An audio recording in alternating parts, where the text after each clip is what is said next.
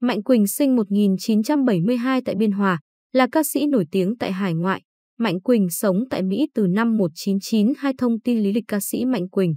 Mạnh Quỳnh, tên thật là Nguyễn Thanh Dũng, sinh 1972 tại Biên Hòa, là một hiện tượng trong làng ca nhạc Việt Nam tại hải ngoại. Mạnh Quỳnh thường song ca với nhiều ca sĩ nổi tiếng như Phi Nhung, Như Quỳnh, Hương Thủy, Tâm Đoan.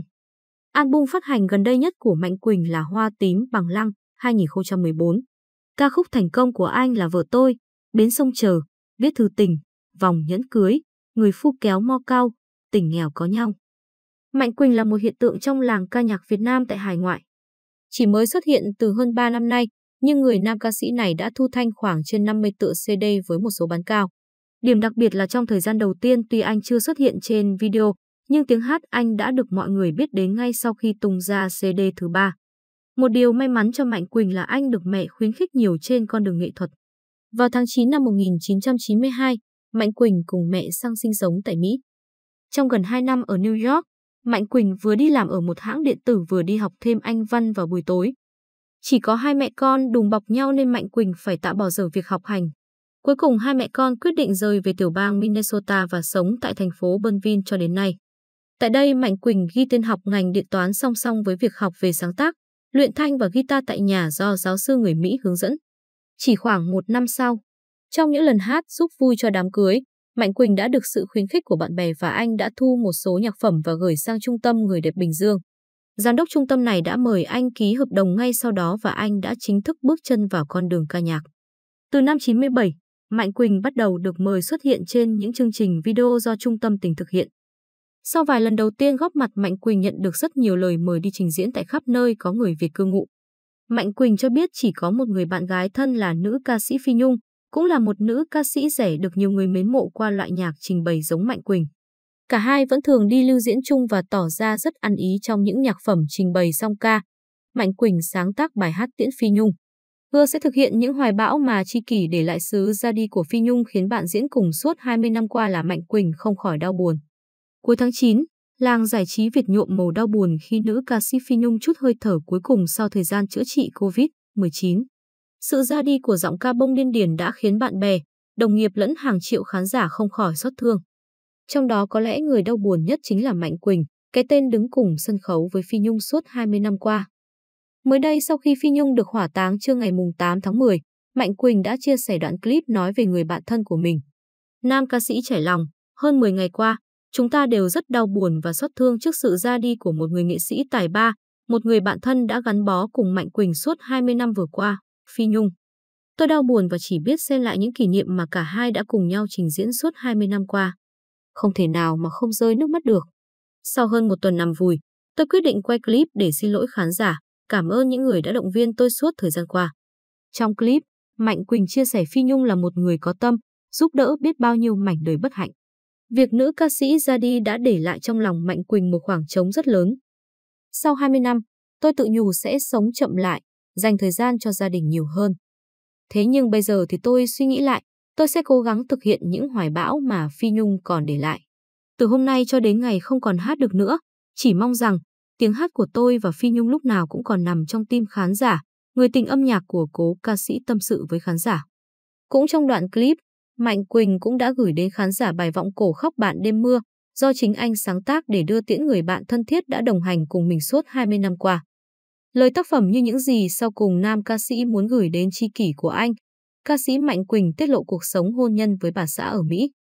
Mạnh Quỳnh cho biết dù bận rộn với hoạt động nghệ thuật song anh vẫn luôn dành thời gian cho tổ ấm nhỏ của mình. Đó là một trong những bí quyết để nam ca sĩ giữ lửa hôn nhân. Chào anh Mạnh Quỳnh. Lần trở về Việt Nam này của anh có ý nghĩa như thế nào? Ca sĩ Mạnh Quỳnh, lần này, tôi dự định về khoảng 2 tuần để làm một số công việc mà năm ngoái còn giang dở, chưa thực hiện xong.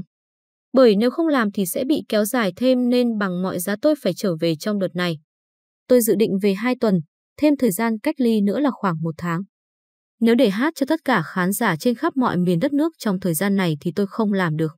Bởi tình hình dịch Covid-19 vẫn còn chưa dứt hẳn. Thành ra lần này tôi về để làm công việc rồi có thêm một mini show nhỏ để những khán giả thân thuộc có thể đến xem. Cảm xúc của anh khi gặp lại Phi Nhung, bạn diễn gắn bó lâu năm. Khi hát với Phi Nhung, lúc nào tôi cũng có cảm xúc hết. Thời điểm này, đã gần một năm hai đứa không hát chung. Mặc dù chúng tôi có thể nói chuyện qua điện thoại nhưng để trình diễn trong một live show thì hai đứa chưa có cơ hội gặp nhau. Thứ nhất là tôi không thể về được, thứ hai là vì mọi sinh hoạt đều bị đóng cửa. Lần này, chủ đích của tôi là lo công việc chứ không nghĩ sẽ có một sâu diễn như vậy. Đối với tôi, có thể diễn với nhiều nghệ sĩ nữ khác nhưng khi hát với Phi Nhung thì cảm xúc vẫn không thay đổi. Mặc dù 20 năm qua, hai đứa cũng lớn rồi. Chỉ có khác là khi diễn trên sân khấu, chúng tôi không còn những lúc âu yếm, nói chuyện tình tứ như xưa. Bây giờ lớn rồi, mình không còn tuổi đôi mươi để nói những câu yêu đương như thời trai trẻ được. Khi diễn với nhau, hai đứa giữ chừng mực, ý tứ hơn chứ không thể đùa giỡn như ngày xưa. Nhưng chúng tôi vẫn nói chuyện vui vẻ ngoài đời. Sao có phải vì lập gia đình, có con nên phải giữ hình ảnh? Tôi không nghĩ như vậy.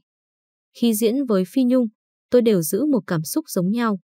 Không phải vì gia đình mà mình phải tính đến chuyện tuổi tác. Người 50 tuổi khi nói chuyện với nhau đâu thể giữ lời lẽ của cặp yêu đương mới lớn. Khi đó tôi phải nói với Nhung rằng mình vẫn vui vẻ, cùng cảm xúc nhưng cách nói chuyện không thể như xưa. Cái gì cũng phải theo từng giai đoạn. Là một người bạn thân thiết trong cuộc sống, có bao giờ Mạnh Quỳnh khuyên Phi Nhung nên yên bề ra thất chưa? Mặc dù hai đứa ở xa nhau nhưng lúc nào tôi cũng quan tâm, theo dõi cuộc sống của Phi Nhung. Tôi tôn trọng quyết định của Nhung. Bây giờ cô ấy cũng lớn rồi. Sống như vậy bao nhiêu năm nay, có thể Phi Nhung đã bằng lòng và có những niềm vui riêng. Nếu có một tình yêu khác, có thể Phi Nhung sẽ bị chi phối và không tập trung vào công việc, lo cho con cái. Khi lập gia đình riêng, dĩ nhiên cô ấy phải dành thời gian cho gia đình. Trong khi quan điểm của Phi Nhung là sống vì nghệ thuật, sống bằng các hoạt động từ thiện. Hơn nữa chuyện tình cảm còn do duyên nợ. Bây giờ Phi Nhung sống như vậy nhưng biết đâu khi gặp một người nào đó thì không thể đỡ nổi. Tình cảm mà, đâu thể nói trước được. Trong hơn 20 năm song ca với nhau, nhìn trên sân khấu thì rất ăn ý nhưng cả hai chắc hẳn có những mâu thuẫn, tranh cãi. Làm việc với nhau, chuyện bất đồng quan điểm là bình thường. Chúng tôi diễn chung bao nhiêu năm, cũng có gây nhau nhiều vì khắc khẩu từ xưa đến giờ. Hai đứa tranh cãi, người này muốn thế này, người kia muốn thế kia. Nhưng người xoa dịu cũng là tôi. Vì khi hát với ca sĩ nữ, tôi phải nhường nhịn. Ví dụ như ca đoạn đó hay, tôi cũng nhường cho bạn diễn chứ không rảnh. Vì tôi như vậy nên khi trình diễn với ca sĩ nào cũng dễ hòa quyện. Còn hát với Phi Nhung mà gây lộn là chuyện bình thường. Có lần Nhung tâm sự rồi, hai đứa cãi nhau mấy ngày luôn nhưng sau đó vì nghệ thuật nên nhường nhịn nhau và đâu vào đó. Trên sân khấu, chúng tôi trình diễn mùi mẫn, tình tứ, còn xuống sân khấu vẫn nói chuyện vui vẻ.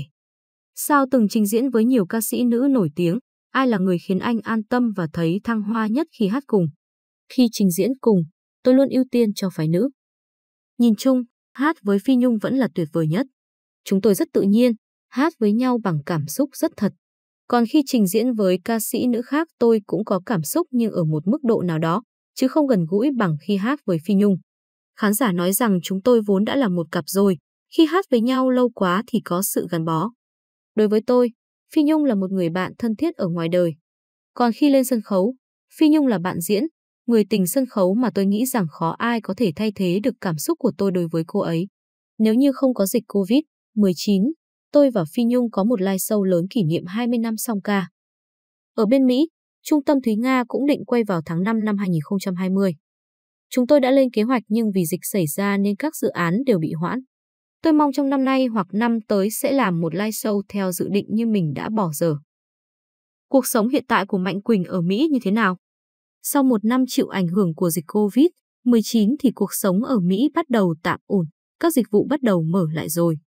Chứ khoảng năm, 6 tháng trước thì rất khó, mình không thể đi đâu được. Các sinh hoạt nghệ thuật ở hải ngoại thời điểm đó đều đóng cửa, không có tụ điểm nào dù nhỏ hay lớn. Mình ra đường còn không được đi ăn uống thì làm sao có thể tham gia các hoạt động nghệ thuật. Theo tôi nghĩ có thể nó sẽ còn kéo dài hơn nữa. Trong vòng từ đây đến cuối năm thì công việc nghệ thuật mới trở lại bình thường.